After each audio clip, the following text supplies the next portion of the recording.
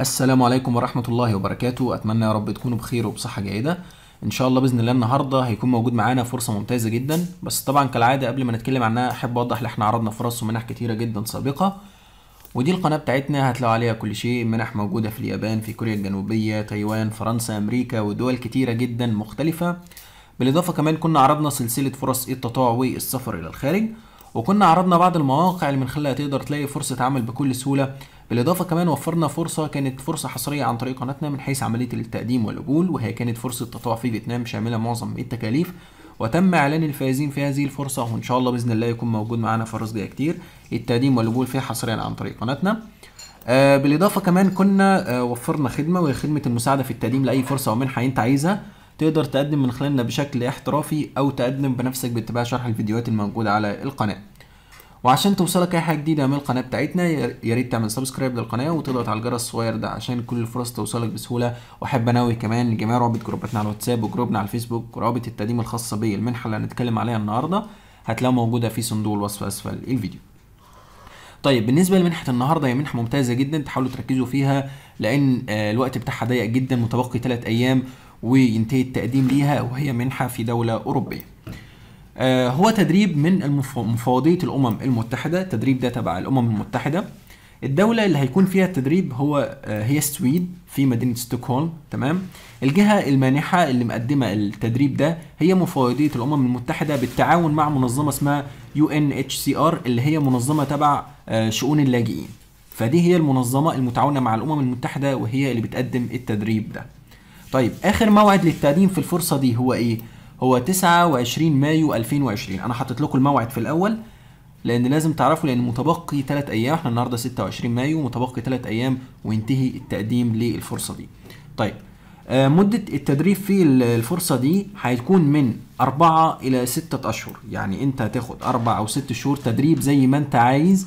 آه، تاخدهم تدريب تشوف بقى عايز تقعد أربع شهور خمس شهور ست شهور. فده حاجة بالنسبة لك أنت زي ما أنت عايز. الدول المتاحة للتقديم في الفرصة دي. مين هي الدول المتاحة؟ جميع الدول المتاحة للتقديم في الفرصة دي. لو انت من دولة عربية آسيوية أفريقية تقدر تقدم عادي للفرصة دي بدون أي مشكلة. بالنسبة للتمويل في الفرصة دي طيب التمويل بتاعها صراحة ممتاز يعني تمويل مش مش ضعيف لا تمويل كويس. آه، أول حاجة رسوم التدريب مجانا. المنحة دي هتتكفل لك برسوم التدريب مجانا مش هتدفع أي شيء خالص. كمان هتوفر لك راتب شهري 1000 دولار عشان يغطي لك السكن والطعام. يعني هم يغطوا لك السكن والطعام عن طريق إن هم يعطوك راتب شهري اللي هو 1000 دولار. تقدر في خلال أربع أو ست شهور اللي أنت هتقعدهم هناك تقدر تنظم كل شهر هتاخد 1000 دولار تستخدمهم في السكن والطعام.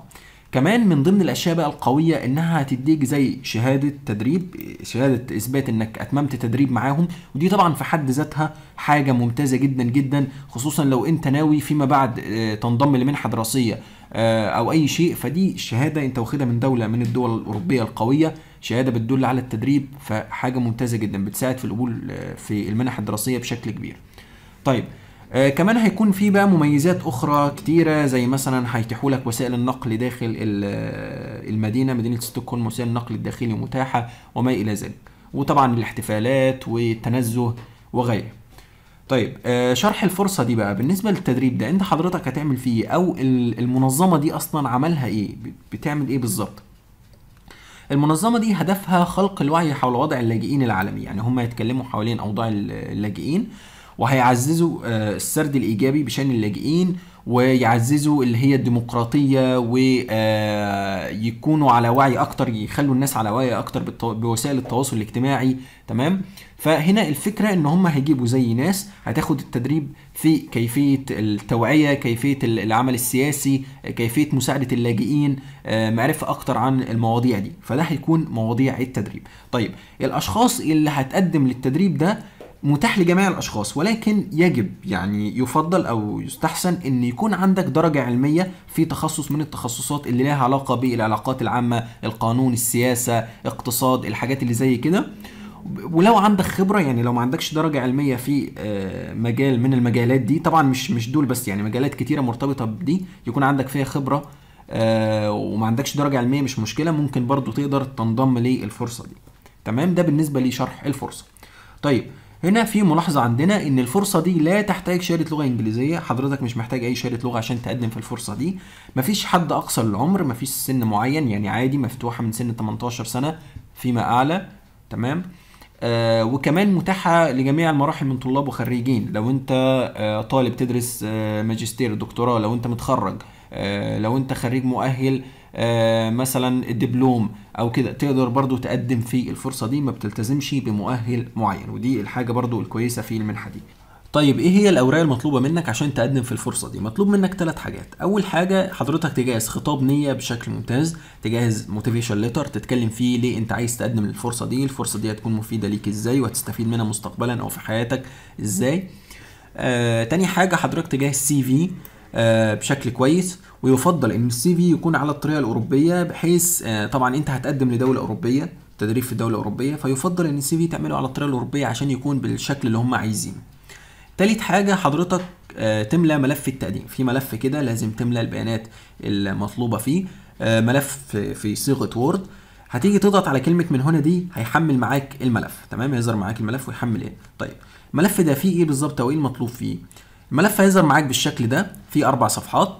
آه، حضرتك هتجاوب على ال- الأسئلة اللي موجودة هنا وتملى الخانات دي. طبعا مطلوب منك تملى اسمك آه، الجندر بتاعك الجنسية هل أنت شخص متزوج أم لا حط الإيميل بتاعك تحط وسائل التواصل معاك رقم التليفون آه، العنوان الحالي بتاعك هل عندك أطفال أم لا.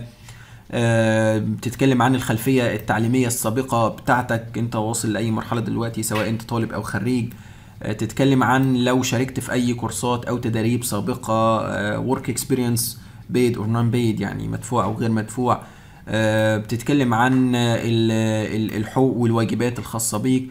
هنا في آخر جزء بتتكلم عن أو هنا في اخر جزء يعني بت- بتحط بقى يعني بعد لما تخلص ال application تحط ال signature بتاعتك تحط التاريخ اللي هو تاريخ اليوم اللي انت هتقدم فيه للمنحه يعني أنا هقدم للمنحه مثلا النهارده بتاريخ 26 مايو يبقى لازم أحط 26 مايو هنا واوقع هنا تمام وبعد كده اجمع بقى اللي هم الثلاث حاجات اللي هم خطاب النيه ال CV والملف ده اللي أنا مليته اللي هو ده اجمعهم مع بعض وأروح بقى عشان أقدم. طيب كيفية التقديم؟ عشان تبعت اوراق للمنحة. إزاي؟ عشان تبعت اوراق للمنحة. يتم إرسال الأوراق المطلوبة إلى هذا الإيميل. يعني حضرتك هتاخد الثلاث أشياء المطلوبة دي وتروح باعتهم للإيميل ده اللي هو إيميل آه، المؤسسة. فهم لما هيستلموا طلبك كده خلاص بتبدأ عملية المراجعة وبيتم تقييم الطلب في النهائي. يبقى ده بالنسبة لعملية ال- التقديم والأوراق المطلوبة. طيب هنا في ملاحظة عندنا إن إحنا كقناة منح من كل الألوان بنتيح عملية التقديم لأي فرصة أو منحة أنت عايزها. تقدر تقدم من خلالنا بشكل احترافي وهتلاقي رابط استمارة التواصل معنا للتقديم من خلالنا موجودة في صندوق الوصف أسفل الفيديو أو ممكن تقدر تقدم بنفسك باتباع شرح الفيديو.